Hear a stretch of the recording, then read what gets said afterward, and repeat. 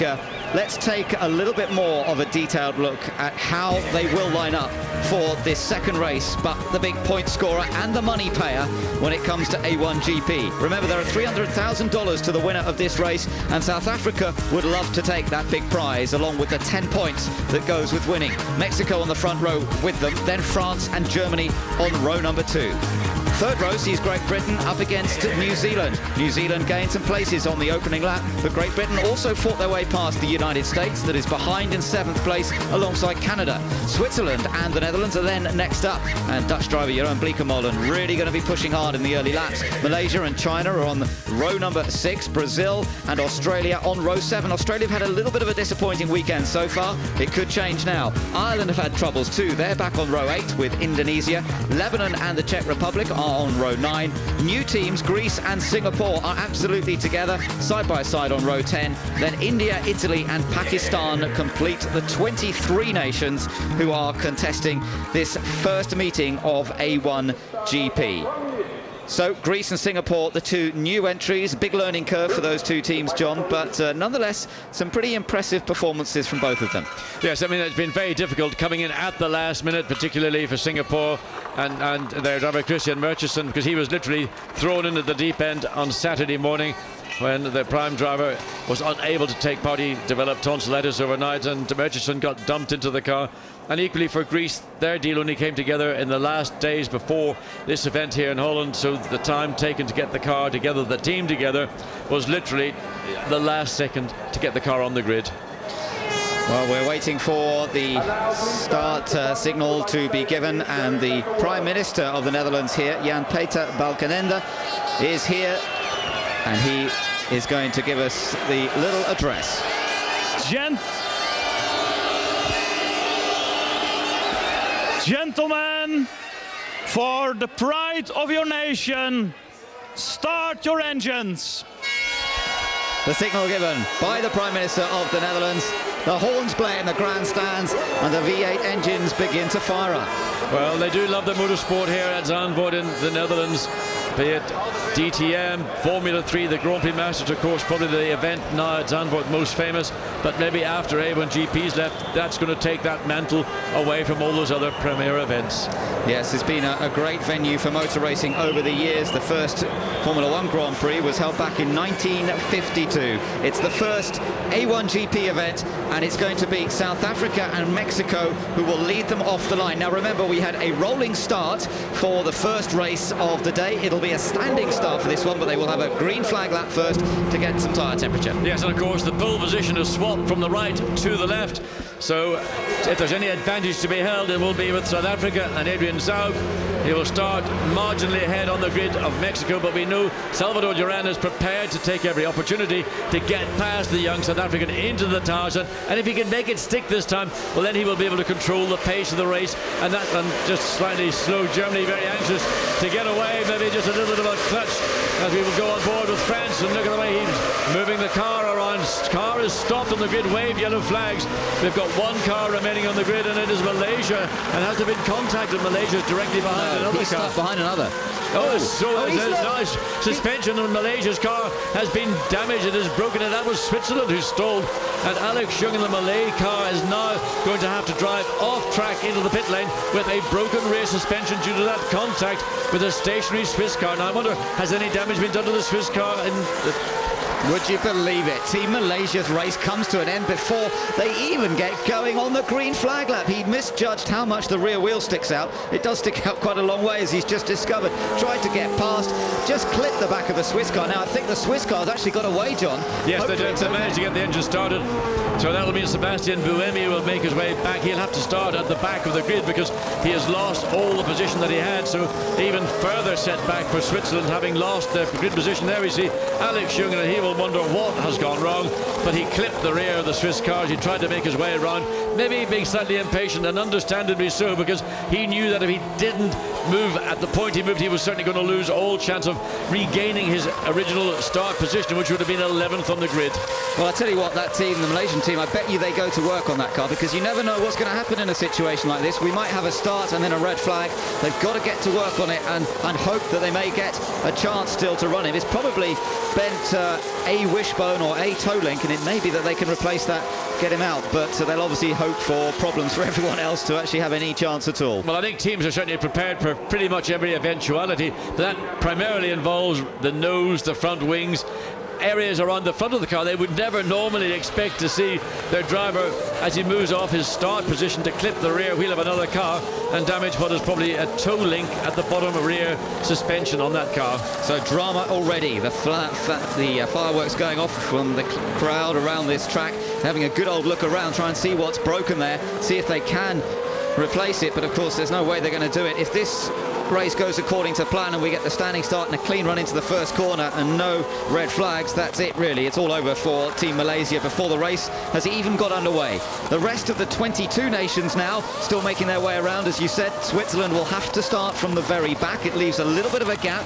In fact, quite a big gap for Brazil because Brazil sits, was going to sit behind both Malaysia and Switzerland. And now there are two car spaces, or will be two car spaces, directly in front of the Brazilian car being driven by Tuka Rocha, young Brazilian driver who sat on the sidelines throughout most of the first season of A1GP, but he's got his big opportunity, and he's got a, an even bigger one now. He's got a, a, big gap in front of him on the grid.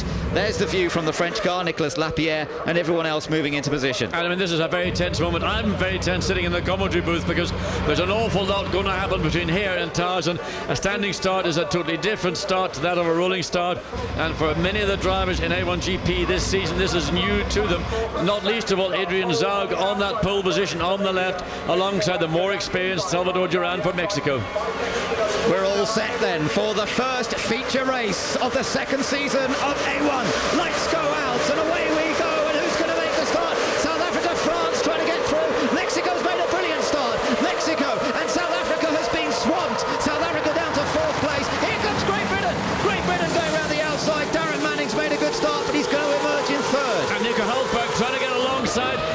Africa. South Africa had a terrible start. That was inexperienced. And look how Zaugg's gone off. And he's been in the turn too.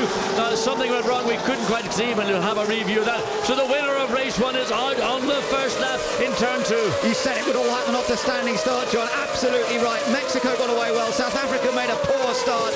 Great Britain made a great start, but have just lost out a little bit now to Germany. So they've gone back to fourth position. Germany now running in third place.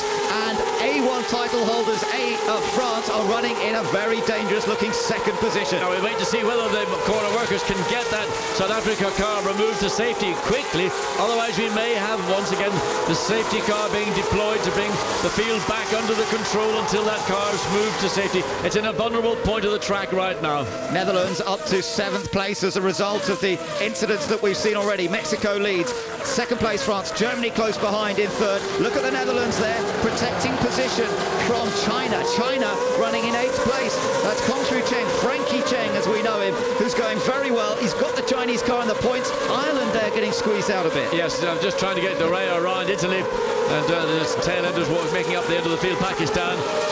So all the excitement occurred going into turn two when South Africa, for inexplicable reasons, we just seem to see the car go straight on. He didn't really attempt to turn the corner, and we have a review of that no doubt in a moment or two as the field filters their way into, for the second time, the Tarzan hairpin. China again, a nice tight line there for Frankie Cheng, but Great Britain with New Zealand right behind. This is fourth, fifth. Then they've got Canada there as well. Rest of them coming through. Indonesia a little bit lonely.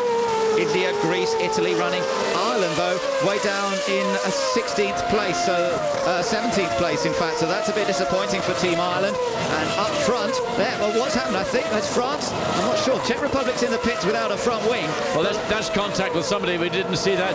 France is leading. France is in front of Mexico. We didn't see what happened, but France has now taken the lead. Well, once now France gets its head into clear air, there's going to be no stopping. I tell you, Nicolas Lapierre, he has got the car. He's got a comparable car to that that South Africa had.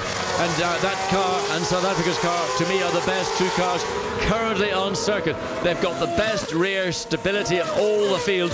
And uh, Nicolas Pierre, a winner, a multiple winner last year for France. He knows how to win races. And now we've got this battle for second, third and fourth with Mexico, Germany and Great Britain. And inevitably it will be held up by the car leading because they will be in defensive mode while the other two behind with New Zealand following Great Britain will be in attack mode. Now let's see if we can find out what happened. Oh, it was a mistake from Duran for Mexico. That's what allowed France ahead. He did. He made the same mistake in the first race in the sprint race, ran too wide, and Nicolas Lapierre didn't need a second invitation to say, there's the lead of the race taken, and once he is in the lead, he will just drive away. So I'm afraid Thomas Kostka is out of his first A1 GP feature race. The Czech Republic will be hoping for better things next week when Thomas Enge returns to that car. He's racing in the States this weekend. But here's a familiar picture. It's Team France leading an A1 GP race. Nothing in front of them, trying to pull away from Mexico, Germany, Great Britain, New Zealand, Canada there. Then the Dutch car ahead of China, behind China, Switzerland and the USA. And now that Nicolas Lapierre has got the lead, he can control the pace of the race. He is not required to try and pull out a huge lead. The only concern that anybody will have, of course, is when it comes to that mandatory pit stop, that everything goes well this year. And there have been modifications to the suspension, to the wheels, to the hubs, to the, the nut, the hub nut, to make the wheel change procedure a much more straightforward one than we had initially in A1GP. Riding on board with Frankie Cheng for Team China. He's going well at the moment, holding on to eighth position. China's only ever been once in the points in A1GP, and he's in a thoroughly deserved eighth place. He's been uh, up around that top 10 mark all weekend. And you can see from the onboard graphics there, the gears down to second gear, back on the power here as he accelerates along this short straight leading into these two critical final corners. Fourth gear through the first one, turn 11, now accelerates up out of here. Now, little breathe on the throttle perhaps there, and through the Lion Luyendyk curve, the final bend, and the straight. And you can see on board with China that even Frankie Cheng was having to apply a little bit of opposite lock he got three-quarter way around the corner, but a lock up from Germany going into the Tarzan and another one lock up from Team GBR following in fourth place. Team Switzerland has got a drive-through penalty. It's been deemed to have done something wrong, not quite sure what it's for, but they've got a penalty. Italy there trying to move, move on. Greece, Greece the white and blue car, new to A1GP and under pressure from Italy, but I thought moment he'd done it, he hasn't, and Team Ireland might try and take advantage of this. Well, if I was Michael Devaney, I wouldn't be too impatient because these two cars, Greece and Italy, are probably going to get themselves tangled somewhere, if not sooner, maybe later, and Michael Devaney does not need to put the Team Ireland car into too much close proximity while these two nations battle it out. It is close between these two, isn't it? Driving for Greece, we've had three different drivers in the car, but this is Takis Kaitazis, who's raced in F3 in Greece. He's also raced in touring cars. Now, let's just see what's... Oh, Germany's got past Mexico. You're watching from Great Britain here, and Germany has just slipped into second place. Mexico down to third. Great Britain still in fourth. And Nico Hulkenberg, another German Wunderkind coming through the motor racing ranks and uh, highly rated indeed by David Sears, who is running the Team Germany effort this year. He's got past Mexico. Mexico clearly not able to find the pace that they owe. And again, just watch the back of the car going through turn 11. And I think the problem that Salvador Duran has is he's suffering from a back end of the car that has not giving him confidence, and therefore he's not able to drive the car at the level. Particularly now, somebody's coming into the pits. Says it's too early to do a, a drive to do a, wheel tire change, but Canada dives on the inside, doesn't get past New Zealand. I think it's Switzerland making their drive-through yes, penalty. It is. There we are. So Sebastian Buemi's being a good boy, just 17. He's uh, 18 at the end of October, end of the month. So uh, let's just see. This was the moment that uh, Germany got past. That was the end of the moment anyway. That Germany managed to nip past Team Mexico and make the move stick. That was a good effort from Nico Hulkenberg. I wondered for a moment whether Great Britain, Darren Manning was going to be able to pass as well, but uh, he's still in fourth place. He's ahead of New Zealand in fifth position. Switzerland back out on track as they deal with that damaged car of South Africa, which went off on the first lap. Although all these battles have been taking place behind this man, Nicolas Lapierre, for France. The, the, there's the look back at the start. Let's have a look again, Ben, and see, catch what it was that went wrong. First, it was the start, certainly uh, a very, very poor start for Adrian Zaugg, and then he, on the outside, suddenly just locks on the grass and straight, and what a, a sad end to Suop, to a superb start to Adrian Zaugg's career in A1GP. Well, he is a rookie and he's allowed the odd mistake or two. That was his own mistake by the looks of things, but uh, he had success earlier on today and he will have plenty more, I'm sure, the sort of pace he demonstrated in that sprint race. But returning to what's going on now, Germany, can they do anything about the lead that Team France has got? Let's just watch them around this next lap. Five laps completed, and uh, no, France still with a faster lap on that last one than Team Germany. Well, prior to all this, Germany, Great Britain, Mexico, they were all racing each other and consequently Mexico, who was leading that group initially, was slowing the pace down. They, he couldn't go any quicker. That allowed France to draw away. But now that uh, Hulkenberg has got clear of that battle for second place, he's now picking up pace, but he's still averaging about 0.6, 0.7 of a second a lap slower than Nicolas Lapierre for France, who's got a comfortable lead of just under four seconds. There's no doubt, I think, that uh, Team China here, Frankie Cheng, is capable of a little faster. He's staying right on the back of the Netherlands car.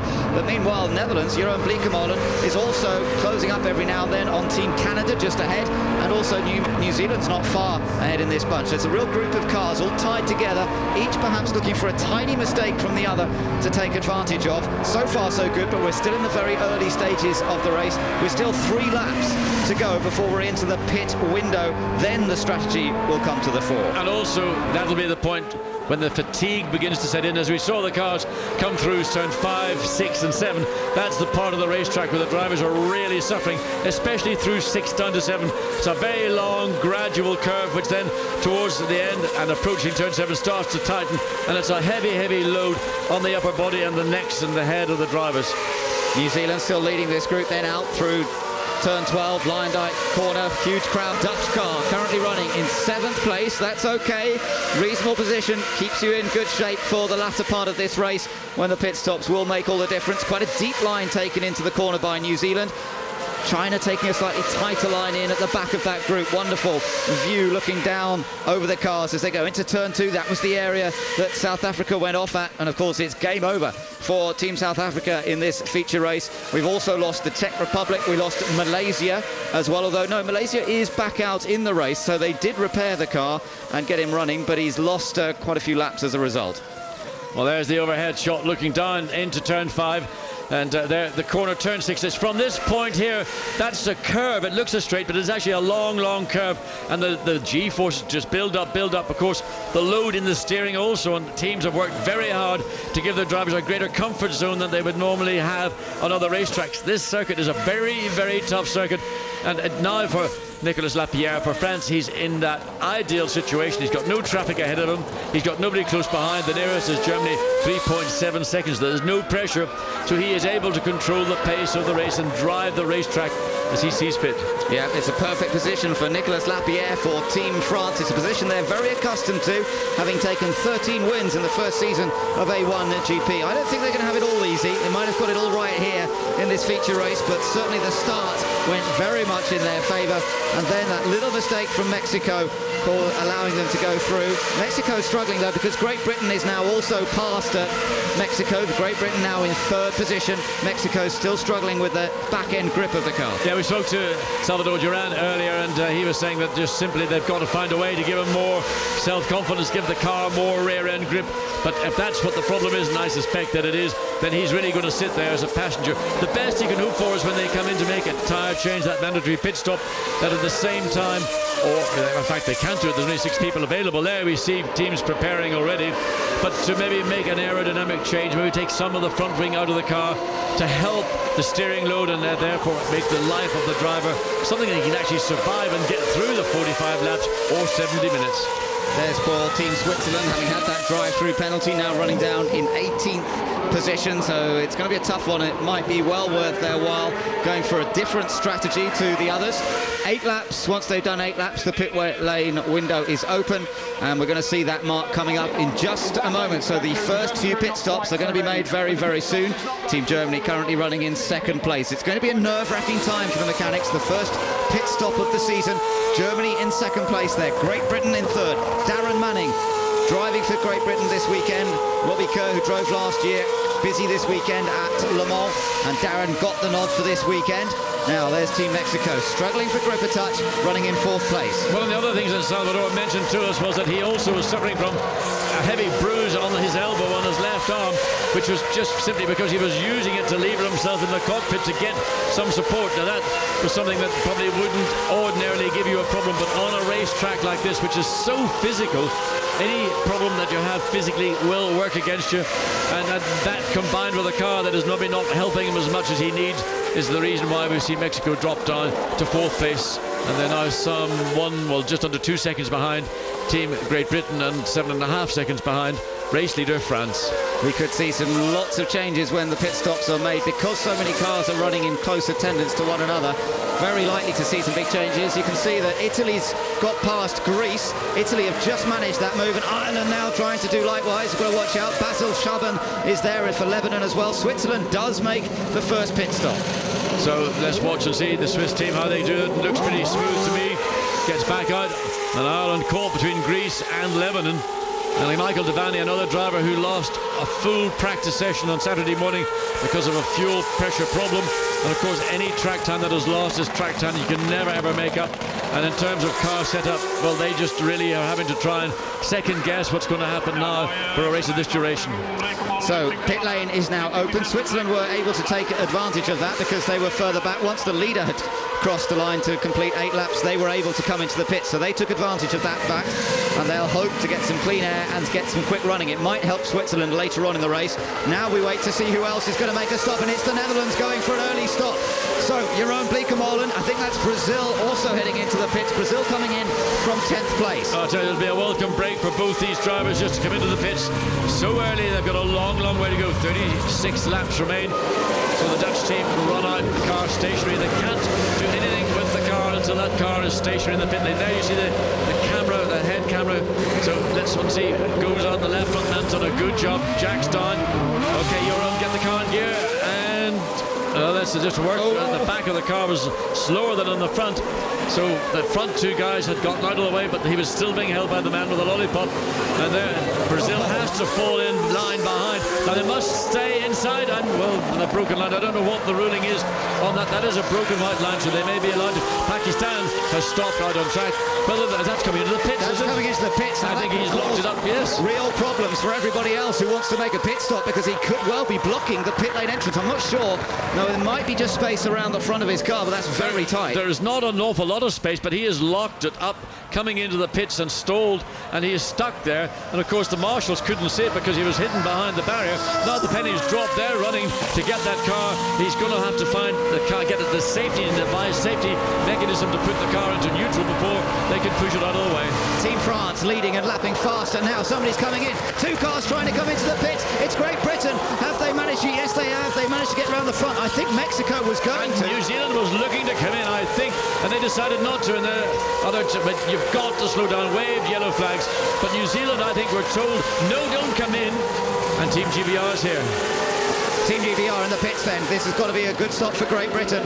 One guy per wheel has to remove one wheel, put the new one on. Another crew member's allowed to move the wheels then once they're off the car. But it's got to be one person per corner. There's a problem on the front, maybe a little bit slow on the front. Yeah, the right, goes, the right, front just didn't seem to go on as cleanly, and the nut maybe didn't disengage from the, the gun itself. But Darren Manning has a fresh set of rubber on. He'll be delighted to have that little breath. And the safety car is not being deployed. It's certainly moving out towards the exit of the pit.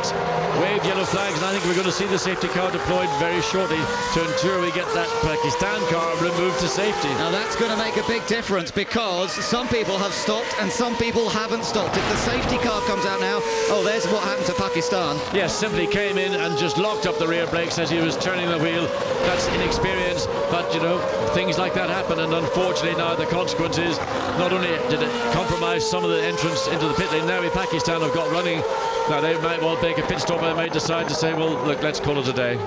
Noor Ali brings the car in. They're still standing by with the safety car. They haven't actually brought it out, and I think, I'm not sure, it looks as though it is being deployed now. Out on track, safety car, and this now means the pit lane has closed. Once the safety car is on track, you are not allowed to make your pit stop. So all of those who have made their pit stop are now going to be able to bunch up behind the safety car, and it's going to be an advantage to those that have stopped. Indeed it is. That's going to favour particularly teams like Team GBR, because they were the car that was running in fourth place, while other three top France Germany and uh, Mexico had not made their pit stops. Neither did Matt Halliday for New Zealand. He was told at the point he was about to turn in, no, stay out on track. So the safety car has picked up the race leader, Team France, but France is not allowed to come into the pits while we've got a safety car. And that means that those guys who have already made a pit stop are in an excellent position because the Crocodile will all close up together and you may be several cars behind the leader in that queue, but in terms of time, of course, you're very, very close behind him. So those lead cars, France, Germany and Mexico, could be in trouble here up against the likes of Great Britain, the Netherlands and Brazil, those cars that have made their stops already. This is going to be fascinating once everything sorts itself out and uh, there'll be a few teams upset, but that's the way it goes. Indeed it is, and you can imagine the teams that are going to be upset are going to be France, Germany, Mexico and New Zealand. The teams that are probably going to be rubbing their hands are in particular Team GBR because that was the first of the front-running teams to make that pit stop before safety car deployment.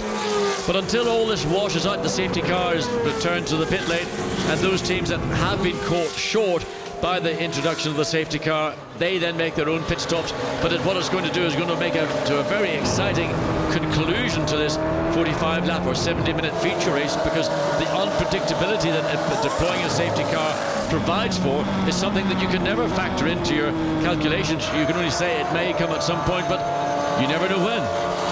You never know when, and uh, this is really going to be very, very difficult to work out exactly what's going to happen here. Light's still on the safety car, so it's going to be out there for at least one more lap. Team France is the lead car. Sitting in behind, there is uh, another car in there. Pakistan car, of course, as we know, has been uh, lapped. So that was the car that had the problem coming into the pits. So Germany, Mexico, New Zealand is the order currently.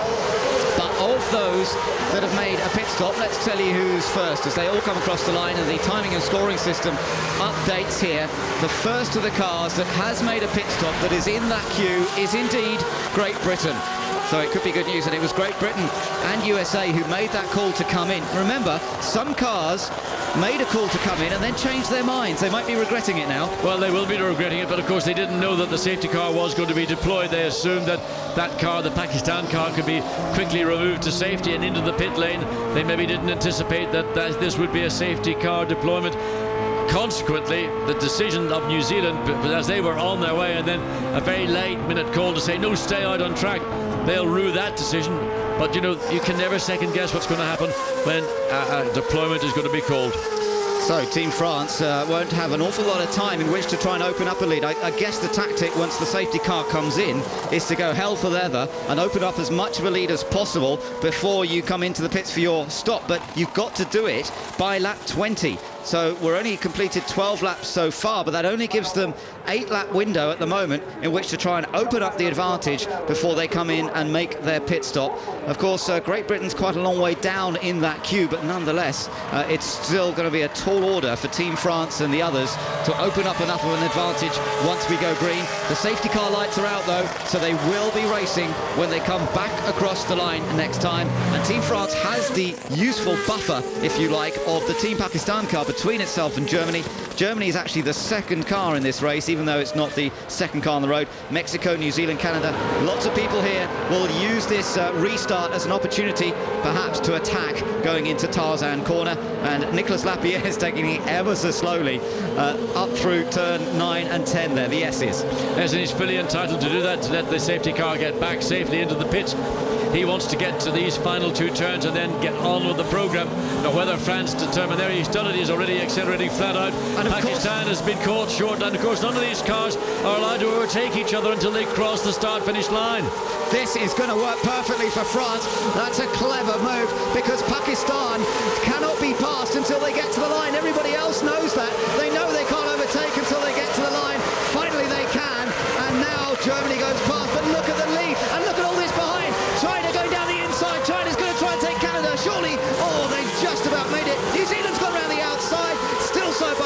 Canada. Nothing to choose between them. Wheel. New Zealand stays ahead of Canada. That was hard play from Matt Halliday. He had Canada right alongside him. He had to do everything he needed to do to keep that position. He did keep it. But smart thinking from Team France and Nicolas Lapierre did everything he was required to do precisely. He slowed the pack down. He knew he had an advantage with Pakistan being directly behind him. And then when he accelerated, Pakistan was caught without his foot in the throttle. And everybody else, Germany and the others, were unable to do anything other than watch Team France steam away. But Canada and New Zealand coming back again. Canada deciding they don't like losing position to New Zealand. So down the inside into turn seven, that's very difficult to do it into there.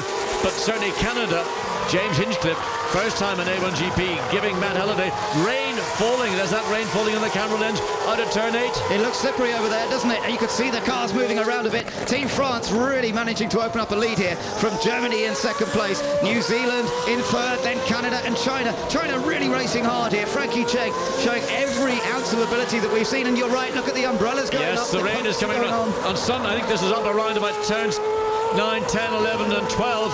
That's the backside of the circuit and the corner leading onto the straight. We haven't seen the umbrellas yet go up on pit straight, so it must be around the final four turns on this racetrack. And this could again completely change the prospects for this race. Another coming into the pits because if they have to come in and change onto wet tyres, then it favours those that haven't stopped. Indonesia diving down the inside of Australia, and that was for position, that was for fifth place. And Ananda Mikola putting a move on Ryan Briscoe. Indonesia gains the position from Australia. So all the aces are being played here today. As we see Team Canada, they were battling with New Zealand for that position. They chose to come in and make the pit stop. And James Hinchcliffe, who was all over fresh set of tyres to me. Brand new tyres, and they've obviously taken the gamble that it's not going to get any wetter. Surely you'd want to wait a little bit. The pit lane window stays open for another six laps. Surely you'd want to stay out there at the moment and see what the weather's going to do and leave it to the last possible moment. Uh, it's up at the top end of the track, as you say. We can see dark clouds out of the side of our commentary box, but then it's much, much clearer down towards the Tarzan Yes, but corner. we're getting raindrops hitting the side of our commentary position, which is just overlooking pit straight. We're not seeing umbrellas being raised yet on the, the grandstands directly in front of us, but clearly around this part of the track and further on towards 11 and 12, that's where those rain spots look to be at their heaviest. So what's going on? France still lead. We've got some side-by-side -side battling here, and uh, Great Britain, that is, with Team Italy trying to get past. Uh, that is to get further up inside the top 10. But Great Britain is still the first of the cars that has made a pit stop. It's still the lead car that has stopped, although it's down in ninth position. And as every corner goes by, Darren Manning and Team GBR is losing ground to the field. He needs to get clear of Italy as quickly as possible. He needs to make the maximum use of those tyres, those fresh tyres that he had fitted some laps ago. So Team GBR, he's, well, he's sixth He's got to watch out though because Netherlands and Brazil behind him have both made pit stops as well. So these guys are the ones who made their pit stops early and are in great shape here. But they've still got to get on with it because it does depend how much France can open up that gap, as you say. Let's just take a look. This was Great Britain trying to get past Italy a moment ago. And the door firmly shut to almost wheel to wheel, but Italy not conceding positions. They're not entitled to do so as Darren Manning gets alongside. So wet tires going on to Team Ireland. Now the rain is beginning to fall more heavily as we look down into the front part of the circuit.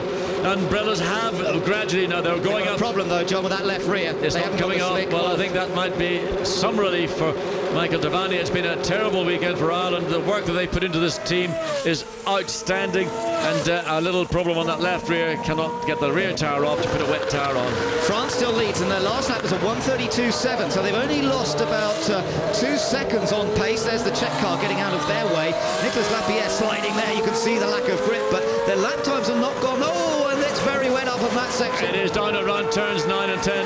Now you say France has lost two seconds, but everybody else is losing 3 and 4. That was Basil Shaaban for Lebanon, and he slid wide, so Basil gets back on track. We're not seeing enough rain on the circuit to cause spray, and still a problem on that left rear. Finally, they get the, the nut released. The wet weather tire will go on. They'll, the rain is falling here on the pit lane. It's almost a mirror of what it was doing some two hours ago. And when that rain came through, it was very, very brief but very heavy, saturated the track, and it will only be a matter of moments before the racetrack as Matt Halliday makes his way into the pit lane. And is Matt Halliday going to fit us in a wet weather tires?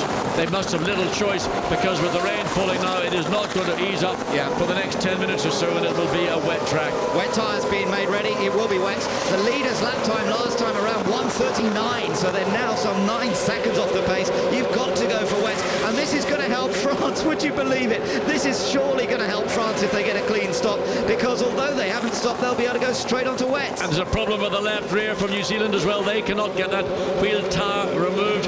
We saw this with Ireland, the same thing, because only one person allowed to work in that corner at a time. He, nobody else can come in and touch it. Australia back out. Ryan Briscoe currently running down in 14th place. Yes, but at least he's had a clean stop, and we're watching quite a few have dramas. This, oh, look at Great Britain slithering around on his slick tyres. That's Darren Manning. You know, they made an early pit stop, but of course at that time there was no danger of it raining. Well, I think the Team GBR is going to throw the dice and gamble yeah. that this rainstorm might clear through more quickly than other people would anticipate and stay out. If he can stay out and, and avoid that a second pit stop for a tyre change, this time to wet tyres, as long as he doesn't lose position, he's got the Netherlands lined up behind. He's got Italy, finally Brazil, USA, and India. They round out the top 10. Ahead of them, Indonesia, uh, Germany and France have yet to come in. And France stays out again, so they are also gambling. They're going to go to the last moment before they make their pit stop. Good tactics by Team France. They are going to wait until virtually lap 20, I would think, before they come into the pits. But Great Britain's got pressure on from local man, Jeroen Bleekemolen for the Netherlands. The Netherlands going to the outside, down towards Tarzan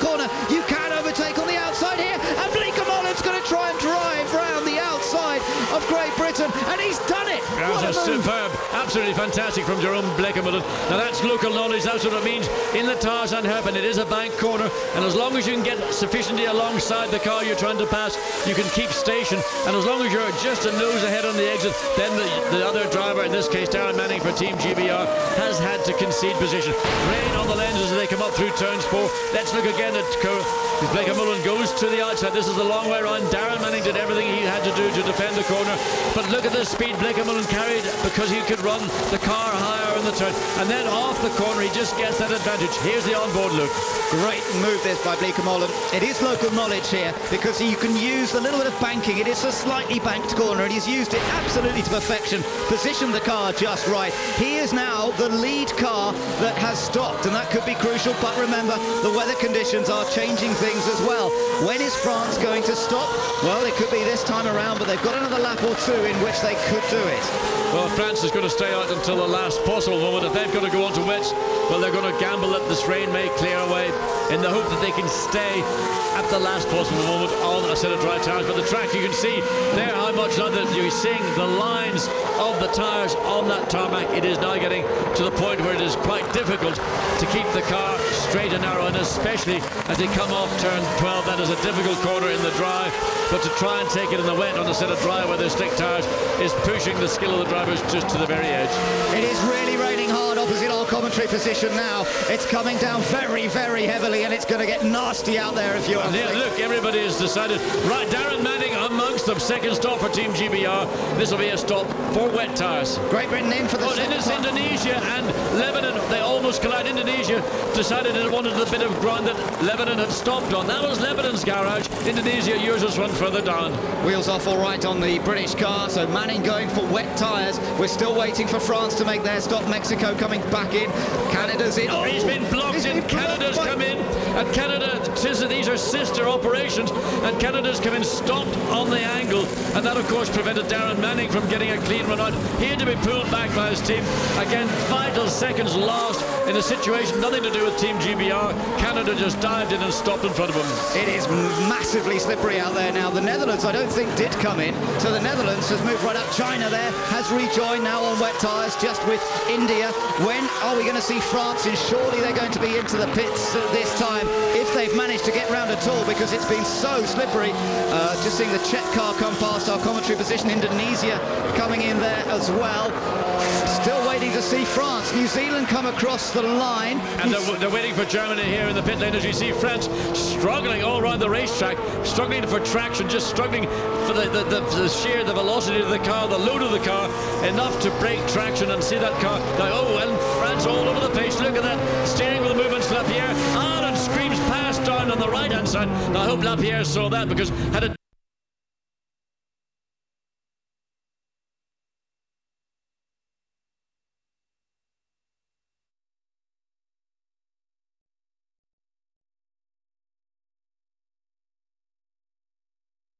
We're back on board with Team China at the moment. The USA does lead this race. France is now in second place. So USA, having not made that stop, is leading. France is in second. Germany is in third place. And China trying to get past Mexico once again. We saw that little side-by-side -side action a moment ago. Those two racing hard. The Netherlands is now in fourth place. And then we're waiting for the others. Italy have really gained through this. They did make an early pit stop onto wet tyres. So Italy has jumped up to fifth. Great Britain is now sixth. Switzerland is up to seventh. Remember, Switzerland made that early pit stop. Then they made another pit stop to go onto wet. So Switzerland's jumped up to seventh. Australia is eighth. India is ninth. And Mexico and China are 10th and 11th. I'm just trying to this mix. This is the first time this weekend anybody's been on a set of wet weather tyres. So where their car setups are in relation to running in the wet tyres on a track that is not just wet, it's a very slick racetrack. There's not a lot of grip coming from the racetrack. And uh, for the first time this weekend, it's a brand new adventure. It is, but what heroics from Phil Giebler from Team USA. It stopped raining. Is it going to work for him? Let's see. Now that so was China. Yes, and Malaysia back out on track. They got repair to that car, and it was China went off track up in the tires, and that's just turning in and at the back end stepping out and having to correct. And uh, the, the, the gravel trap there beckoned, and we saw Lebanon follow him up. Now that wasn't in sympathy. That was just probably Basil Shaaban got caught out by the extra moisture. In fact, what you'd call it almost monsoon rain down at Tarzan. Now then, Team USA is still struggling around on these on these slick tyres. They were only 15 seconds, one five seconds ahead of France last time around, and Lapierre will be taking huge chunks out of his lead. Yeah, we've got to see with the lap time when France come across start-finish line to see 157.6. Now it's getting better by the lap for Team USA, but the gap between France and the USA. New Zealand, New Zealand go off track as well. It's now down to 8.4 seconds. The seven second difference between wets and dries is a lot less than I would have anticipated. So the wet weather tyre benefit over the slick that the USA are running is not as significant as we might have expected. This was the moment that Matt Halliday ran a bit wild. He got the back end out first and then shot himself uh, right off track, but managed to keep it going. Bit of luck and a bit of judgment, and he's still in there. Uh, New Zealand were 16th, though, last time around, so he's lost a lot of time. There is the United States car. Phil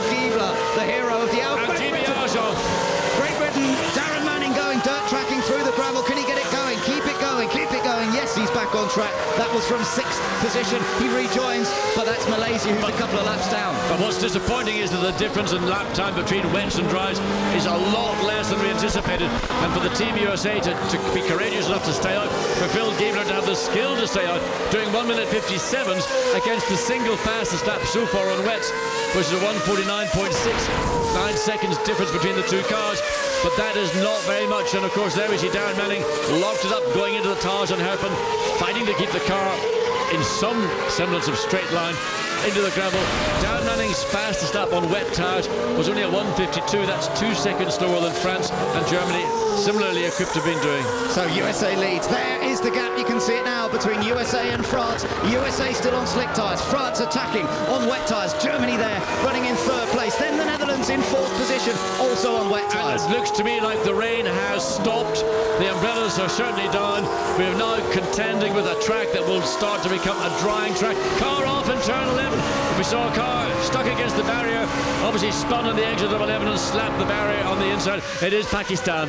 So Nur Ali's been having a bit of an adventurous time here on his A1 debut, but I think that could be the end of the day for the American-based Pakistani, and it's still USA leading, but just by 2.2 seconds as they crossed the line last time. A 156 from USA, six seconds slower on the lap than France. France using the wet tyres to their best effect. But the key is going to come at what point does the transition occur for the wet tyre to have no more than an advantage of six seconds is well, it means that when the track gets a drying line, then the advantage is going to go back to Team USA. What a courageous decision. I said it once, I'm going to say it a second time. Phil Giebler has done a magnificent job. When others have been on wets and gone off, he's on slicks and so far has stayed on line. Now, he doesn't need to fight France off too much because if France get ahead, all well and good, they will still probably have to change onto slick tyres, whereas Phil Giebler for Team USA is already on his slick tyres. He doesn't have to change again if the track continues to dry out. But look forward there, the, the sky, and that's looking eastward. Looks very, very black indeed. But in the meantime, that's what we've got pretty much now with the rest of the circuit. Nice blue sky. Oh, this is fantastic. What a confrontation here. Team USA versus Team France Ford the lead in the feature race. Just about half distance now. And Giebler... And he's made a mistake when he let him go through or he ran wide or the combination of two. Anyway, the fact is the pressure is off Phil Giebler. All he's got to do is still what he's done so successfully is keep this car on track. He's now got young Nico Hulkenberg from Germany behind him. He may be a little bit more impatient than we... There's Again, another, is that Lebanon or Canada? Canada, Canada yeah. and down on the tires. And, and these cars are all in wet weather tires. Yet the lead car, well, the lead car up until a few moments ago had stayed on slicks and had stayed on track. So USA has lost the lead to Team France and now will lose second place to Germany. It's likely to lose third to the Netherlands as well. And the Dutch fans are going to go crazy when they can see a potential podium. And uh, there is the orange car getting closer. But remember, if this track continues to dry, then Team USA... Oh, there's a battle for the lead between France and Germany as well. Germany has caught right up to France, both on wet tyres. Look at the two leaders. Germany's going really well and putting Nicolas Lapierre under pressure. First four cars covered by just about a second. And Germany, Nico Hulkenberg, who again starred in qualifying. But if you watch Jerome Mullen go past Phil Giebler for Team USA, now the track difference. Last lap for France was a 152, for Germany a 150, but more representatively 156 for Team USA. And the track, lap by lap, corner by corner, will start to dry. India's off down at the thousand. There was that contact. We saw a red car just go through the corner. Maybe the two cars got together. So India may well be able to rejoin here.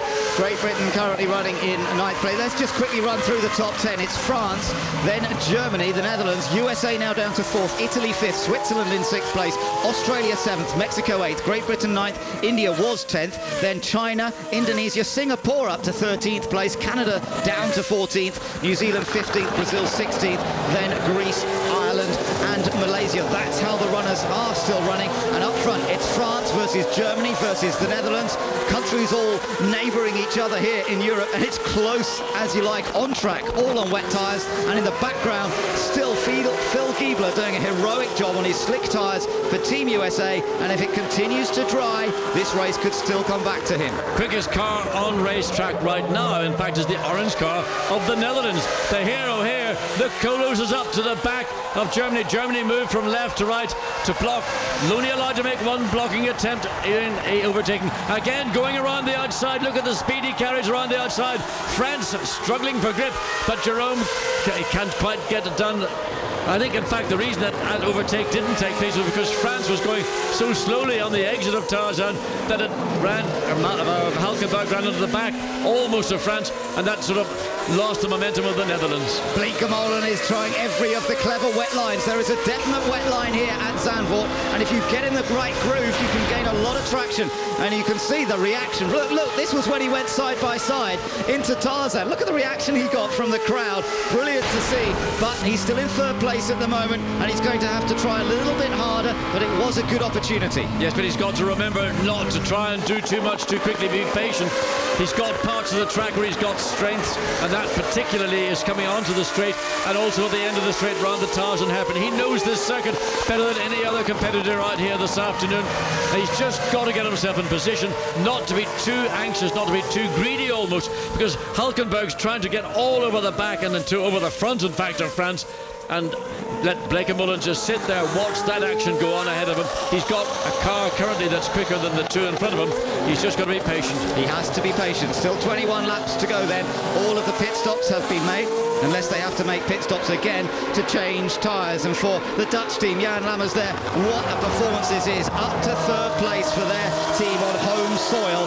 And with every opportunity still right with the other two. Team Germany there second. We were riding on board with Hulkenberg.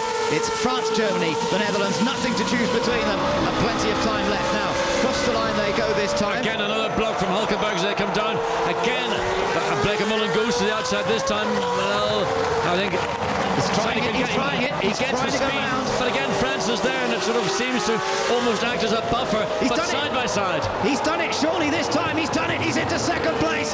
And Zandvoort goes crazy. The Netherlands second, France sliding. But look at the smooth line. Jeroen Bleekemolen, look at the wide line he chooses. Looking for the grip. That's where track experience counts. Now, can he do it to Team France as well? I think he's got because France, I think, is struggling with grip overall. They cannot run at the sort of the normal pace we'd expect from France. In fact, Germany and Holland are capable of running quicker than France. They just haven't been able so far to have a go.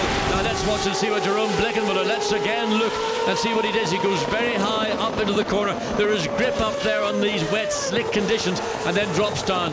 Yeah, that was a good move there, wasn't it? Round the outside, but they're all sliding around. That was the reaction in the Dutch camp, but he did it. Yeah, says Jan Lammers. But Jan Lammers told us to expect something special from his rookie driver here today, this afternoon. We didn't expect rain He's to fall. side by side with France. No, I thought he was for a moment, nearly nosed alongside. he's got to be patient. There are 20 laps to go, and we've got 25 minutes of this race remaining. I don't know which is going to come the sooner. I suspect the 70 minutes is now going to come sooner than the, the 25 remaining 20 laps to go. And looking to find a way very, very slippery indeed, round 9 and 10. Look at the reaction from the fans. He's being urged on, cheered on here. Team France's car twitching around in the wet. Remember, these cars were all set up for dry conditions. They weren't set up for the wet. They might have Oh, wet look tyres. at France, the slide. You can see almost sideways in the track. Literally, there must be zero grip. Now, no problem, I think, whatsoever for Bleekemolen to just come out of turn 12, get alongside, and sort of oh, put himself certainly into position to provide a mirror of what he did with Germany. Team Netherlands trying to take the lead from Team France. The title holders in A1. He's done it. He's gone past. And watch whole Germany. Zandvoort has gone crazy. Team Netherlands in front. And watch Germany, they're going to try and sneak through, not close enough to do so. What a move by Jeroen Bleekemolen. He's taken the lead here with still 19 laps to go in the feature race. But the Dutch car is in front on Dutch soil. The youngster, Jeroen who didn't think he would be racing here this weekend, he got the late call. This is how he did it. Yeah, he did it because France are struggling for rear end grip. Holland have got a much better balanced car. They can carry the speed through turns 11 and 12 and effect come onto the straight more quickly. Get alongside. We have seen Bleekemolen do this pass innumerable times. Goes high up, gets the grip at the top of the circuit, and then drops down with more speed and accelerates past going up into turns two and three. He made it look easy, didn't he? Jeroen Bleekemolen, now he's got the pressure on though. He's got a long way to go in this race. What about Team USA, John? How far back is our man on slick tyres? 17 seconds or so? Well, it's, it is 17 seconds. The trouble is the track hasn't shown any indi- indication to be drying out, but Germany now putting France under great pressure. Nico Hulkenberg, we've seen him drive in qualifying, stunning in qualifying, gets alongside as they come down the hill into turns 9 and 10. Germany's done it into second place and France is pushed back to third. Maybe it is a new order in A1GP in the first event of the new season. France, great in the dry, but they're definitely struggling in these damp conditions. And I don't know why we've seen France's car, whether wet or dry in the first series, looking stunning. But clearly, when the rain came and they went under wet weather tyres, they were not the class of the field. Nicolas Lapierre has been having to hang on by the scruff of his neck to keep that car on racetrack. Look at them moving onto the wet line, trying to cool those wet tyres. There's still 18 laps to go. They've got to look after the wet tyres. And as the lap times reduce, the sun is coming out. You know, there's still a chance here for Team USA if the slick tyres start to come into effect. But he, at the moment, it's still tending to drop back a bit. But I think we need to look more at the clock than laps to go because we've got 22 minutes, 26, 5 seconds remaining with 18 laps. And in my book, that looks to me like it'll be a time finish rather than a lap finish. But there you see the drying line as they come through turn four and climb the hill up into turn five. Bleekemolen is on a set of wet weather tyres, as is everybody here. These Cooper tyres, they're not the super sticky, soft wet weather tyres we see elsewhere. These tyres are designed to enable a driver in these drying track conditions to stay out if it is necessary, rather than end up with a tyre that falls to bits the moment it sees a dry part of racetrack. So Bleekemolen now with a clear track ahead of him and he's pulled away quite a bit from Germany and France over the last lap or so. But don't discount Germany. Nico Hulkenberg's been looking very good. Has raced here at Zandvoort in the past. A, a youngster, but it could be an opportunity. A quick glance in the mirror for Bleekemolen. Where's the opposition? They're not that close as yet, but still plenty of time. But interestingly, the second quickest car out on track is not Germany or France, it is actually Italy. Italy up to fourth place. Where have they come from? We haven't seen much of Italy all weekend. We've been saying, well, maybe Italy has been taking drivers that are paying for the opportunity rather than taking talent and then generating sponsorship as a consequence. And they're running in fourth and they're running second quickest per lap to the Netherlands. Yeah, Italy up to fourth position, and that is a surprise. Alessandro Pier Guidi driving superbly well. Brazil, you're looking at there briefly. They're running 16th, Ireland down in 17th. I'm afraid neither of those two nations are having a particularly successful time here at. Zandvoort, but what a topsy-turvy race it has been in terms of conditions.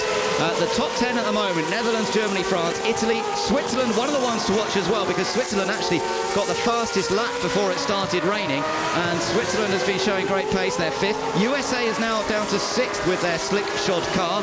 Uh, Australia seventh, Mexico eighth. You're watching a battle here at the moment between Singapore and India, and that is for position, that's for 13th. But should this track suddenly dry out, the USA is presently 27 and a half seconds behind the Netherlands, the race leader.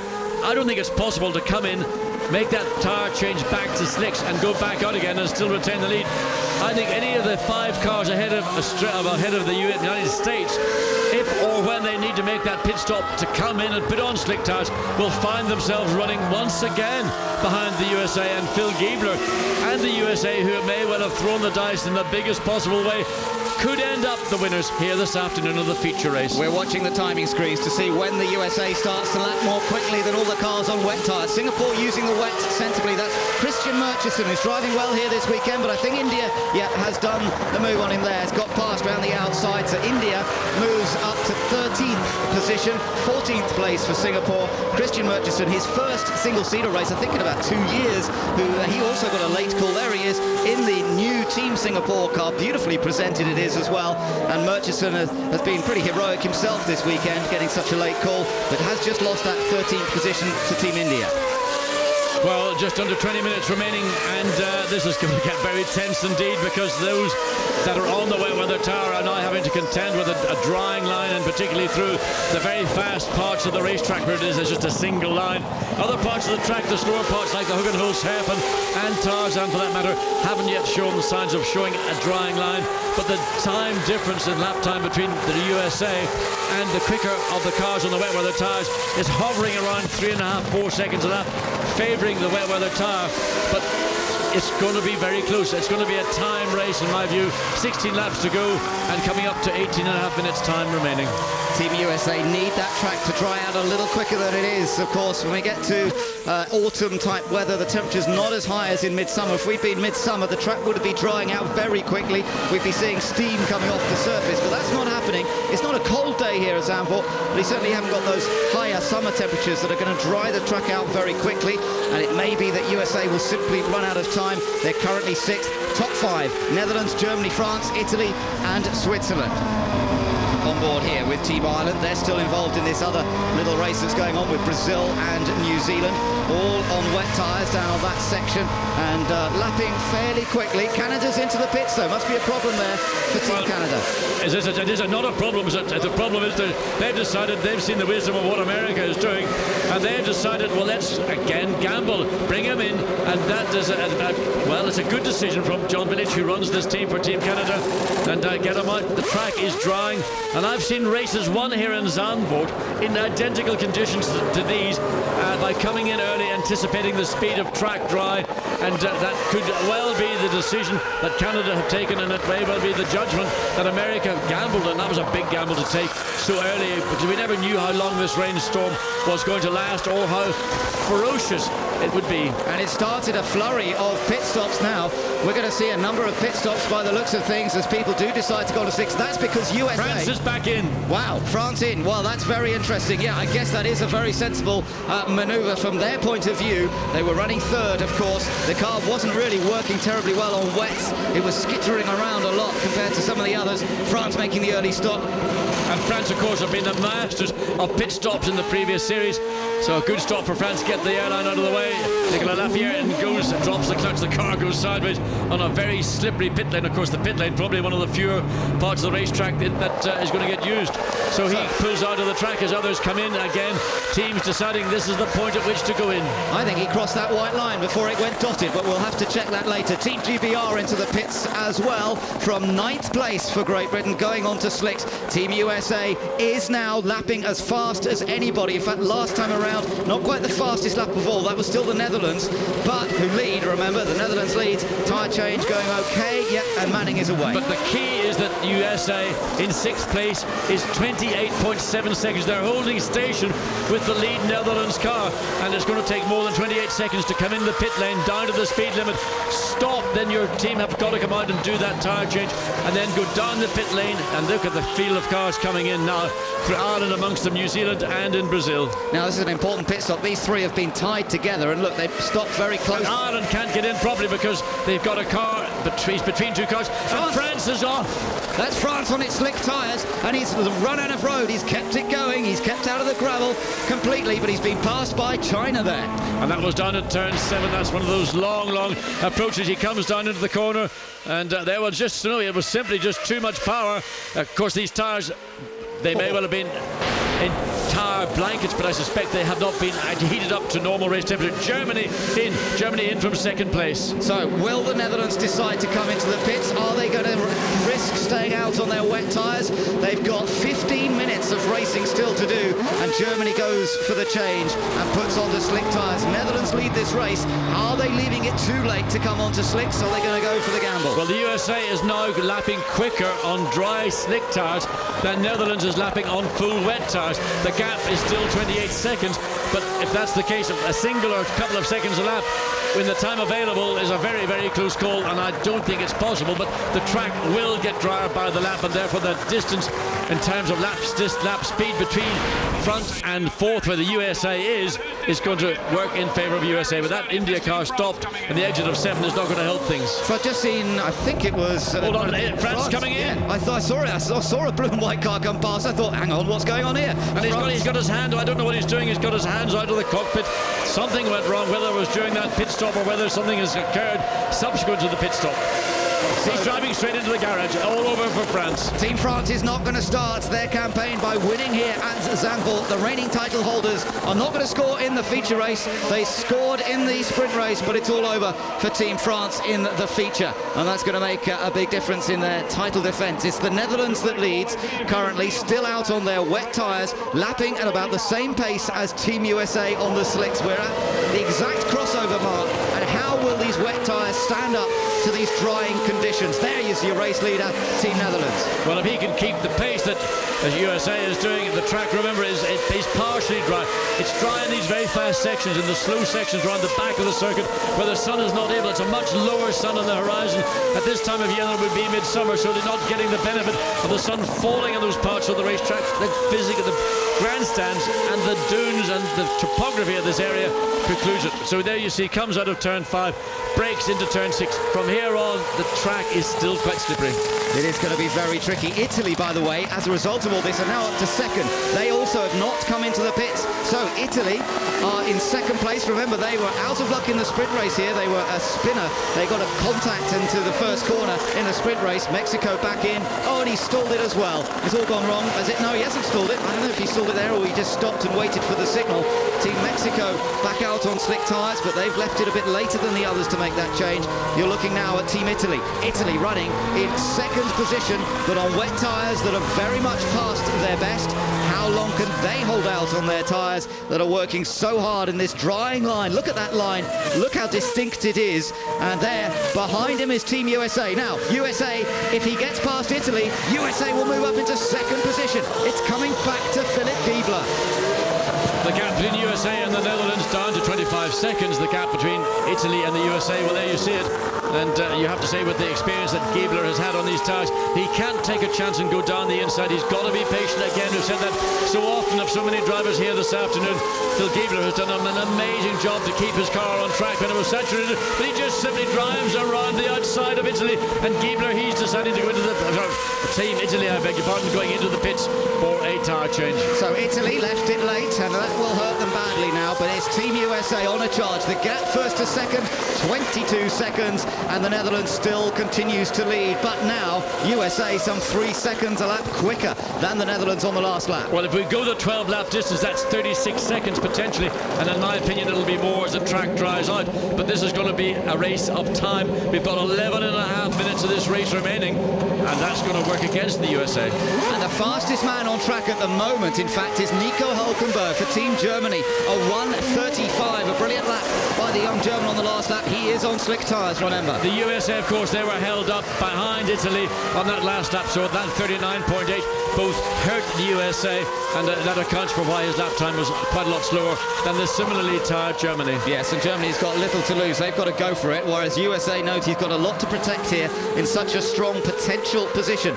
Team Netherlands is the race leader with 10, just uh, well, no, nearly 11 minutes to go, or 12 laps. It's going to be the 11 minutes uh, that will be the decisive factor, and will the wet tyres, those Cooper wet tyres on the A1GP car of Team Netherlands, will they last the distance? That's the question. That's what these guys are all hoping for. They're urging that car on. Look, looking for every vestige of moisture. Jeroen Bleekemolen, here he comes down. He's got no choice now to take the racing line, but he went from left sharp across the track to pick up the moisture close to the barrier on that main straight. He's going to be uh, struggling now for the remaining 10 minutes. Those tyres are going to be working so hard. He's coming up to lap the Singapore car here. And of course, cars that are maybe on slick tyres where he's coming up to lap them, that may make life pretty difficult for him. Onto the wet stuff to try and cool the tyre.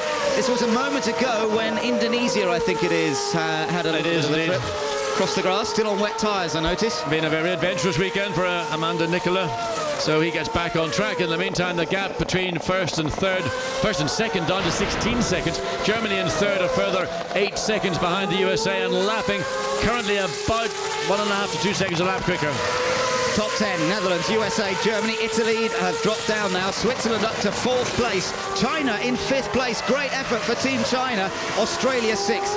Mexico seventh. Indonesia dropped back a little bit. That means that Great Britain should be up to eighth. It depends if they got past Indonesia when Indonesia went off there. So Great Britain moving up the points a little bit behind them. Singapore, India, Canada and Greece.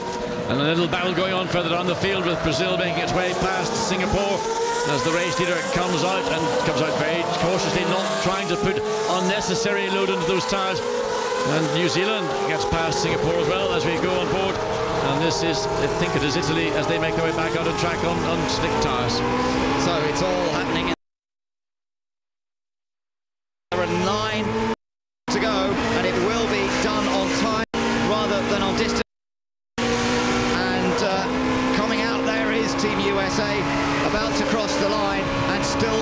closing on the race leader. And Simon has 7.6 seconds. Simon has news from the pits. Yeah, Team Netherlands are anxiously looking at the monitors. They're looking at the lap times now, and they're taking a gamble on leaving Jeroen Bleekemolen out on wet weather tyres and to him to use his car control and circuit knowledge to hang on and win for Team Netherlands at home. Well, let's see if he does, Simon, because the gap between the Netherlands and USA is down to 7.4 seconds. And you know, USA was nine seconds faster last time around. USA will catch him on this lap if they're not careful. And Ireland just steamed past the Netherlands as they came out of the Hugenholtz hairpin bend up the hill. Even Ireland had to go offline onto the damp part of the circuit to get past the Netherlands, and they were able to do it and pull away. So now this is into a deteriorating situation. Jeroen Bleekemolen, who did a, such a great job on these wet weather tyres for the bulk of the race. There behind is the USA. Phil Giebler, the man who braved it out to stay on slick tyres when all around him dived into the pits for wet, is looking now at a possible victory. But look at Germany. Germany is in the background and catching USA as well. This is a stunning drive by Three, Nico Hulkenberg. three seconds a lap faster on the last lap.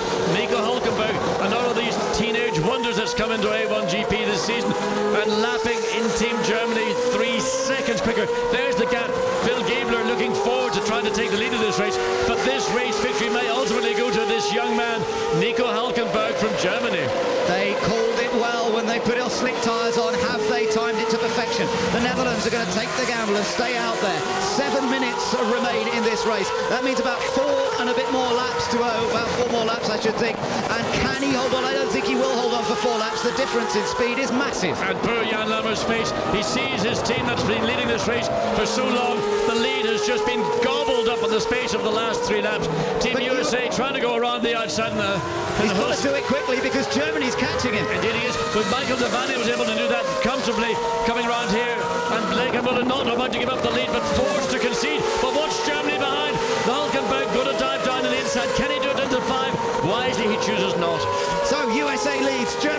second place, and the Netherlands struggling round on their wet tyres are demoted to third. How far will they get in this race now because they're just waiting for the time to tick by. But Germany is the car to watch. This has been an outstanding drive by the youngster, 19-year-old Nico Hulkenberg, who is now applying the pressure to Giebler. But Giebler's exploits in the middle part of this race when he stayed on slick tyres in treacherous conditions, I still think uh, one of the best bits of driving we've seen in A1. But here comes Germany, and they're really around for that lead. And that was close going into turn nine. The German almost made contact to the back of the USA car. He's a young kid. He's got to learn to be patient. He's got he's got the pace. The trouble is now that he's slowed up by running directly behind the, the USA car. 19-year-old Nico Hulkenberg has got to show maturity and patience at 19 years of age. Phil Giebler, a little bit older, a little bit more experienced, but there's a shake of the head in the USA pit crew. Can USA stay in front in this race and take the first feature race win of the new season? We saw South Africa win earlier on today. They became a new winner. USA's never won a race, but neither has Germany. So we're likely to see another new winner. And it's very hard to try and make a pass around the exit of Tarzan and into the Hugenholtz hairpin bend. The possibility of doing it now up the hill under acceleration, both cars pretty much equally matched. But Hulkenberg didn't appear to get the power on a little bit earlier, has carried the speed, but again running up into turn five. This is a very quick approach to easy to defend, no chance to dive down the inside. You do so, but the back of the USA car you can see is beginning to move around. Again, Germany has a more compliant car, able to get the power earlier, and USA now has a mirror full of Team Germany. So can the stars and stripes stay ahead? He's got it, he's done it, he's through. He's done it easily, hasn't he? Germany takes the lead. Germany takes the lead here in the Netherlands. And Nico Hulkenberg is another teenage sensation. We saw one in the sprint race in the shape of Adrian Zaugg. Now we're seeing another. Nico Hulkenberg goes through. USA running in second. It should be a fairly safe second. Netherlands are still in third place, and the Netherlands are the ones still in danger. That was the reaction in the German camp as Nico Hulkenberg took the position, and the team there, the David Sears crew who look after the engineering on that car, what a wonderful moment it was for them. Now they've just got to keep it together for the remaining four minutes. And Phil Giebler having to struggle to keep the car. Clearly, Germany have got car speed. Nico Hulkenberg has done a magnificent job. He used maturity and patience, as we see here further battle going on. New Zealand and Canada, that's a battle for 12th position. It is. The Netherlands, we think, are still in third place. Yes, they are, but being caught by Australia as well. You're looking at uh, New Zealand uh, further down the order, but right now the concentration really is going to be on whether Netherlands can hold on to a podium finish in this race. Canada running in 12th position. That was a, a change of place. Uh, New Zealand getting 12th ahead of Canada, but when they went past last time, the Netherlands had an 18-second uh, advantage over Australia, but they were seven seconds slower on the lap. This was another move. Italy and Singapore a moment ago. Italy now, oh, and right And off and actually yes, hit the barrier. Snaps the barrier. Probably not very much damage, but uh, well, I don't know whether he'll decide he'll continue on. Italy had been running in fifth place, and uh, that may just decide them that uh, they'll just take what they can get. If they get a top 10 finish and pick up any points, they'll go for it. Look at that. Australia makes its No, way no, past. no, no, no, that was Malaysia. That was Malaysia. It did look similar, but it was the yellow and white car of Malaysia. So I think Netherlands still holding on to third place at the moment. Australia not far behind, and then it's Mexico back there too. Can the Netherlands hold on for a podium on home soil or not? They've got an advantage of 18 seconds, and we've got two and a half minutes remaining, and I don't think that's going to be conceivable. Even Ryan Briscoe, as brilliant as he is, cannot make up that difference. It would need a mistake, an error from Johan Bleekemolen to allow Australia to get on that final podium position. Well, it looks like we've got two laps to go. Germany's already crossed the line, some 3.2 seconds ahead of the United States. Here comes the Netherlands, about to cross the line in third place, using his wet weather tyres to their absolute limit. There won't be much left on them, but you have to say the tyres have withstood a dry track remarkably well. And Team Germany out on their own now, coming up to lap the Czech car.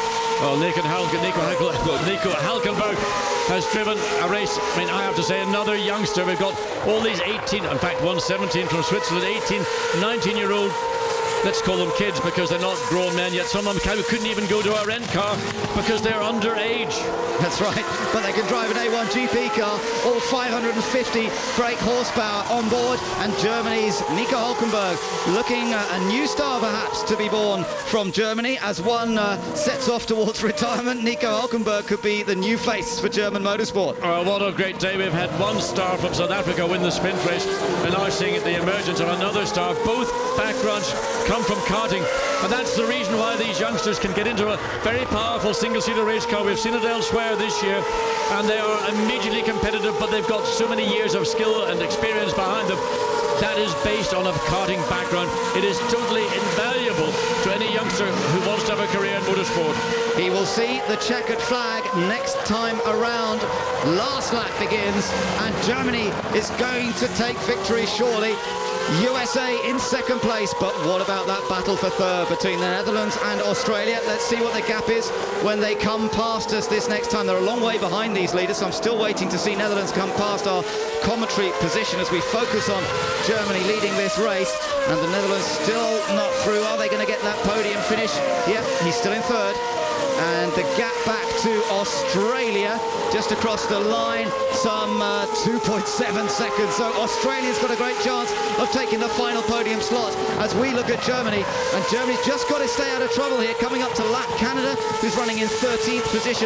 James Hinchcliffe uh, won't make it terribly easy but of course he's not going to want to hold up the leader. He'll be getting blue flags. And I'm sure Team Germany will be able to nip through fairly quickly not under much pressure from USA who's some 5.7 seconds behind. There you are. Canada moves cleanly out of the way and Germany continues en route, heading for Germany's first win in A1 GP. Two new winners to add to the tally from last year. It really is been a, a, very open day indeed. Eight nations might have won in the first season, but we've already had two new nations winning races here today. South Africa and now Germany become A1 GP winners.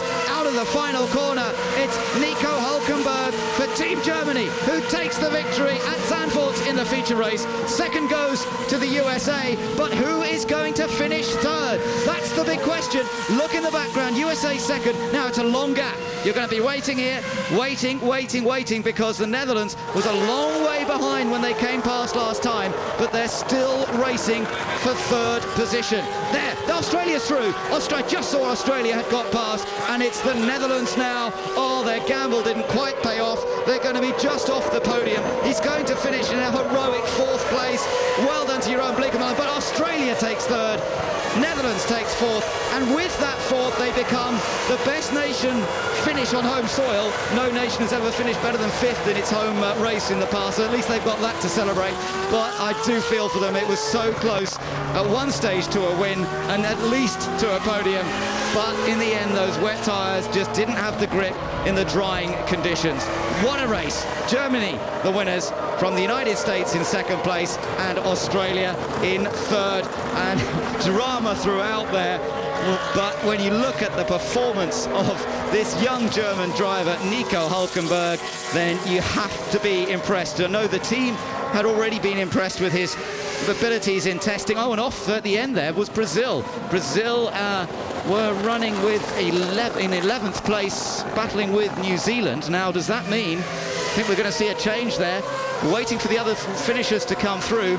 Mexico has finished fifth, Italy is sixth, Great Britain seventh, Switzerland finish in eighth place, China ninth, only the second time that China have finished in the points in A1GP, and Indonesia finish in 10th place.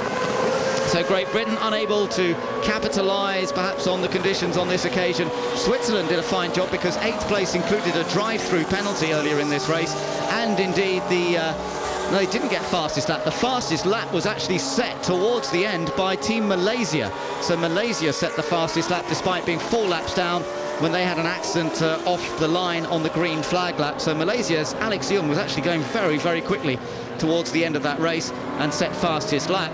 But Switzerland made good progress moving up to eighth. And Jeroen Bleekemolen's getting out of his car virtually now as he celebrates a fourth place finish just off the podium it might have been, but nonetheless uh, an heroic uh, drive there from Bleekemolen. The way he took the lead around the outside at the Tarzan corner, the fans truly have taken him to heart this weekend. He is the new Dutch hero, and what a response he's getting. Look at that. Isn't that something special? And he's going to lay a little bit of rubber down out there, out of the S's. And he just loves all this, and he, he loves playing to the crowd as well. Fantastic to see in a young man who hasn't done a lot of single-seater racing in recent years at all. But there is a man who's, like Adrian Zaugg earlier on today, is making a name for himself. Nico Hulkenberg, winner for Germany. And there really is a new star around another new star.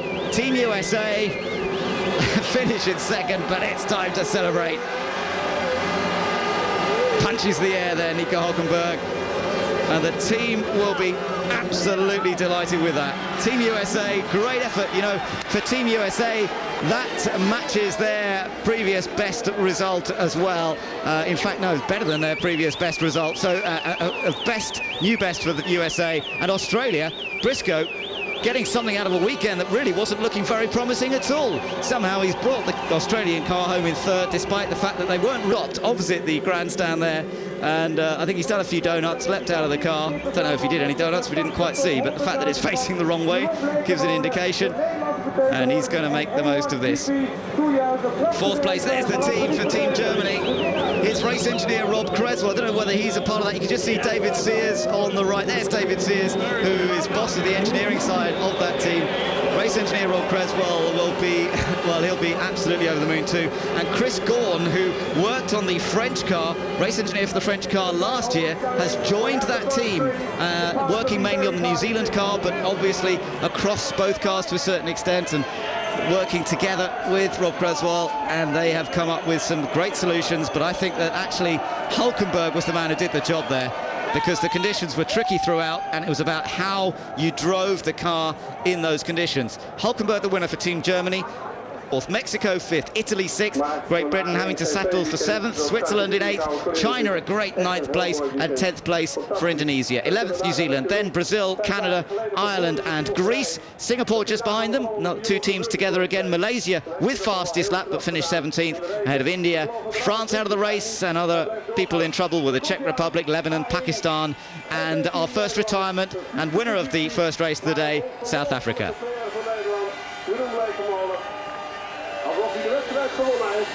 Sun might be shining now, but the conditions in that race changed throughout. We started dry, we had the first round of pit stops, then it started to rain, and then it really was incredibly slippery out there for a while. But throughout it, Phil Giebler for Team USA kept the slicks on his car and for a while there it looked as though that gamble had paid off but the sheer pace and tactics for Team Germany by bringing Hulkenberg in at the crucial moment it allowed them to take the victory. Well, what a day of drama it's been. A fairly steady sprint race in the morning, but a, a topsy-turvy feature race in the afternoon that goes to show that A1 GP races are totally unpredictable here. The winning gap in the end, 7.8 seconds for Team Germany. I mean, Hulkenberg was flying towards the end, although, as I say, he didn't actually set the fastest lap of the race, but uh, nonetheless, it was very, very impressive performance by him. And uh, for the Netherlands, a fourth place finish, which I think they'll be pretty satisfied with. There is Jeroen Bleekemolen. He led the race. He looked set for a podium at one stage. It wasn't quite to be, but he certainly has not disgraced himself this weekend with all of that pressure resting on his shoulders. The late call to drive the car, and he's still come through and performed. And that is a, a, a really wonderful effort. Probably worth the gamble from Jan Lammers' point of view. You could say, well, they, they might have brought the car in at the same time that Germany came in. But, uh, you know, when you've got the lead of a race, you'll do anything to hold on to it. And if for some reason it had just rained a little bit more at that stage, which it could easily have done, then he would have been the real hero of the day. He would have come through as the race winner. As it was, he has to settle for fourth place, but they don't care. They've had a great time. And they've been able to cheer him on. They've watched him in the lead of the race. They've enjoyed the battle that he's had. It was a beautifully clean battle. throughout as well. We saw no nasty driving tactics. And uh, he's going to do a bit of a Elio Castro Castroneves moment here, climbing the fences. uh, it's good to see.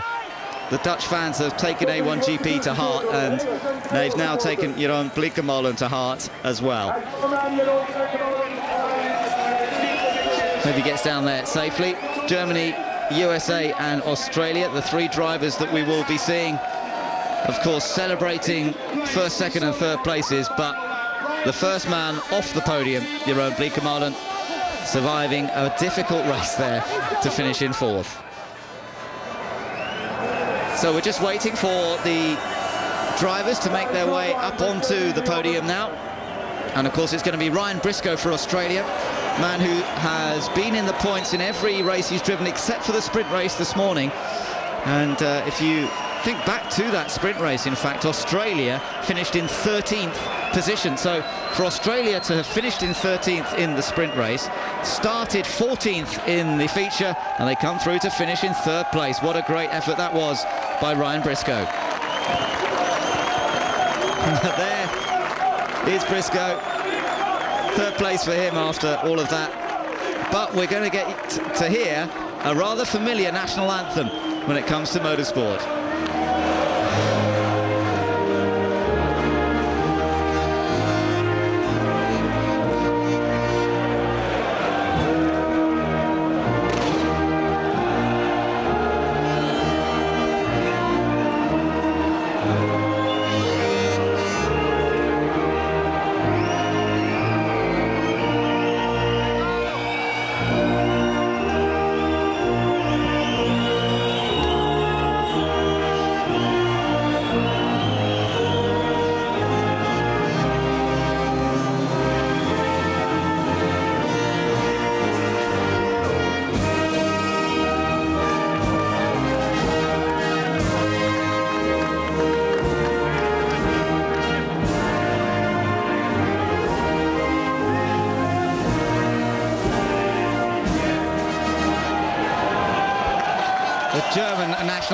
Plays out, and whilst it might be a familiar theme in motorsport around the world, it's the first time that it's happened in A1GP. Germany becoming the 10th nation to win a race. But first of all, it's Ryan Briscoe to be presented uh, his trophy, his medal for finishing in third position.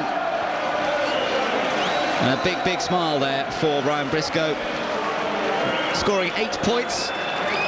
And uh, there's a big smile on his face there. Don't forget, good money as well for the feature race. $150,000 going to the team that finishes in third place. $200,000 prize money to the team finishing in second. And for Team USA, Phil Giebler, a star performer. Now looked after by West Surrey, or by WSR, Team WSR, looking after the engineering for Team USA.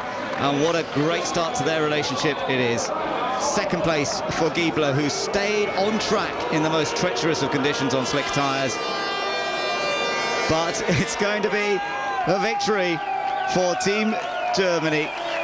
And indeed, it is the Prime Minister of the Netherlands, Jan-Peter Balkenende, who presents that medal and the trophy for victory to Nico Hulkenberg. So it's time for the photographs. And that is a podium, I think, that would have been extremely difficult to predict coming in to the races this morning after looking at qualifying yesterday. Germany actually were very quick in qualifying, qualifying fourth on the grid for the sprint race. They had one of the fastest times throughout that session. But as I mentioned, the others, USA, they qualified in seventh. They were then given sixth with the demise of Switzerland.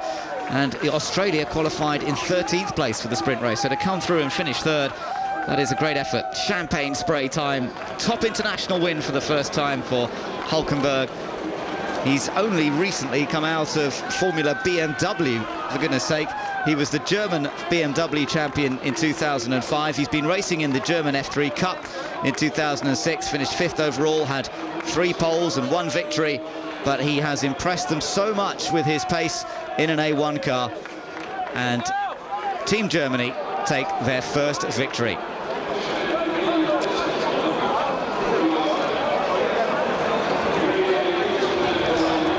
Drivers will now make their way through to Panjir, the hospitality area, taking them a few moments to make their way over there, and we'll have a chance to listen to their comments as a result of that up and down race, wet and dry, changing conditions throughout, and a race that uh, at times we thought that Team USA was going to win, we thought the Netherlands were going to win, we thought that France was going to win in the early stages. France, remember, had opened up a big lead in the dry, it looked as though everything was going the way of Team France yet again, as we've seen on so many occasions in A1GP. But with the safety car coming out when it did, that certainly didn't help Team France. In fact, they recovered from that pretty well. But then when the rain came down, they left it a little bit too long before they changed onto wet tyres. That was the crucial call. And again, it was something that Team Germany did very, very effectively. They put the wet tyres on at the right time, but they also put the slick tyres on at the, at the right time. It was a, a brilliant piece of team tactics there for Germany because there were lots of things you could have got wrong and yet they got every call just right as it turns out with hindsight. Well, looking back on that feature race, a build-up that uh, saw all the cars going to the grid, but a problem for Malaysia even on the green flag lap. We saw the demise, I'm afraid, of South Africa on the opening lap as a result of an accident up at turn two. And then France seemed to have the race very much under control in the early stages. There were battles throughout. Switzerland had a drive-through penalty, but it looked for a while as though France were going to continue their winning ways from last season. As it turned out, however, the timing of the pit stops made a big difference. One or two avoided coming into the pits because of the spun car of Pakistan. Great Britain was one of the first to make a pit stop, and for a while it looked as though Great Britain was going to be in the best possible position once everybody else had made a stop. As it turned out, however, we then saw a change in weather conditions. Suddenly, it started to rain. Cars were flying off track, but only one car stayed out there on the slick tyres, and that was Team USA. USA retained the lead for many laps. Team France weren't having such a good time of it. They'd made a late call to put it onto the wet tyres. New Zealand managed to recover from that scary looking moment. And Team Netherlands then emerged into the battle for the lead, getting past Germany first of all, moving up into second place. And then with this move round the outside, the Netherlands took the lead and held the lead for a long, long time throughout the feature. Germany, meanwhile, was on wet tyres and picking off the places as well. Still people were getting into trouble, but it was all over for Team France with a mechanical problem that put them out. Then it was time to go back onto slick tyres. Again, Germany called it cleverly when they put their slick tyres on and as they worked through the latter stages of the race, they were able to close up on Team USA, make the move, get past and take the lead. And in the last few moments, it was just a question of easing away to victory. Beautiful drive from Nico Hulkenberg. A fantastic effort by Phil Giebler to stay on track in the early stages. A last-minute accident between New Zealand and Brazil, who finished in 11th and 12th positions. But Team USA celebrating second, whilst Germany celebrate the win.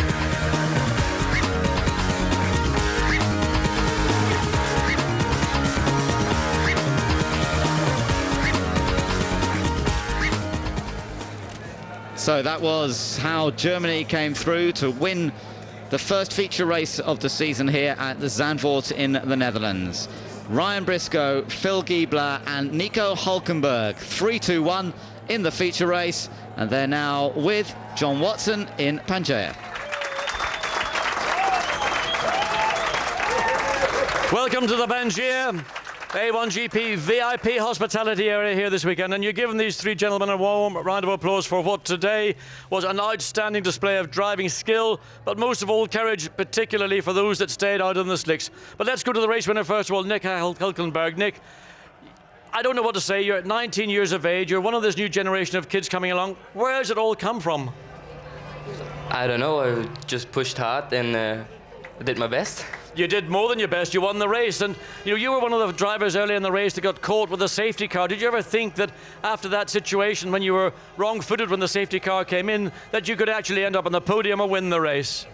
Um, not really. And uh, when the track dries up, for my second pit stop, I didn't have any overview over the field. I didn't know where I was, and then I got a call from from the radio from my engineer, and he said, "You're P1, P1. Okay, well done." And uh, yeah, that's it. And how difficult having come in, put on wets, then going back out on the slicks? That looked pretty tough to us. Yeah, it was, but I was uh, not pushing too hard the first laps, and was not really at the beginning on the limit, and uh, but it was not too bad. Well, thank you, Nick. Congratulations. Phil Giebler, I have to say, Phil, you're the most courageous man I've seen here this weekend to stay out on a racetrack, absolutely saturated on slicks, when others around you were falling off on wet weather tyres. Yeah, it was a, a really difficult race, and uh, I just have to give it up to my team for trusting uh, my choice for staying out. And uh, I knew the, the weather would blow by quite quick, and and uh, luckily it went our way. So uh, it took some balls and it took a lot of luck, but. Uh, it worked out, and I got to thank the team and Team USA. I'm great, grateful for putting me in the car, and I'm glad I could provide a podium for them. Well, Phil, you say it was your choice. You actually said no to the team today, call you in. Well, they uh, they gave me the option. They're like, uh, it's quite wet, and I said, well, I'll, I'll just stay out. And once once I made that commitment, is uh, pretty much I, I just had to go out there and just just stick with it and make the most of it. But it was hard. It was like driving on eggshells, and uh, so many moments of almost going off. So I was lucky to stay on the track, and uh, it, it proved to to work out for us. Well, you got nine nice big fat points for your effort, and congratulations. Ryan Briscoe, you started 14th this afternoon for Australia.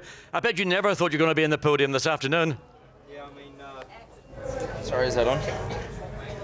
Well, Ryan's got a little problem handing over to, from Phil. Sorry about that. Okay, Ryan, ever, do Yeah, you I ever think you'll be in the podium?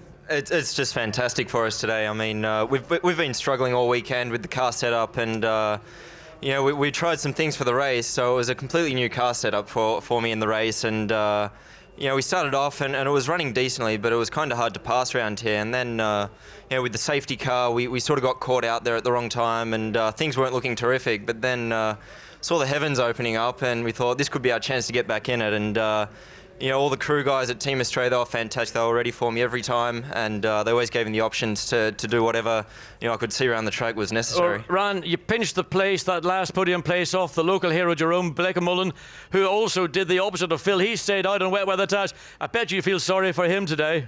I know they were, they were telling me he was third. I was coming around the last lap, and they said you're about eight seconds You- quicker than him. He's on wets, and this is You may not get lap. out of here That's tonight, my friend. And I'm looking at the crowd, and it's all orange, and I'm like, is it the right thing to pass this guy for third? But uh, had to do it. Sorry, Well, Holland. It was a great race. I mean, starting from 14th, coming all the way through.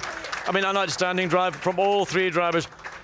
Nico, thinking about your, first of all, congratulations. You're actually now leading the A1 GP Championship. You got 13 points, so that's a little bit of a bonus, isn't it? Yeah, it's great for us for Team Germany, but uh, yeah, Uh, tell me, you're in the car, I take it, for a Brno next weekend. Yeah. There's next week uh, and I'm sitting again in the car, and yeah, we want to try to make something good again. And the seat holder for Team Germany, of course, is a friend of mine, a gentleman called Willi Weber. Do you think this drive today is going to impress Willi Weber at all? I don't know. Uh, wins, I mean, first of all, is he your manager?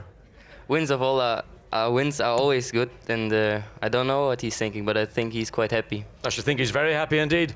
Ladies and gentlemen, a round of applause for three great tries on a very, very difficult afternoon here in Zandvoort. Nico Hulkenberg, Phil Giebler, and Ryan Briscoe.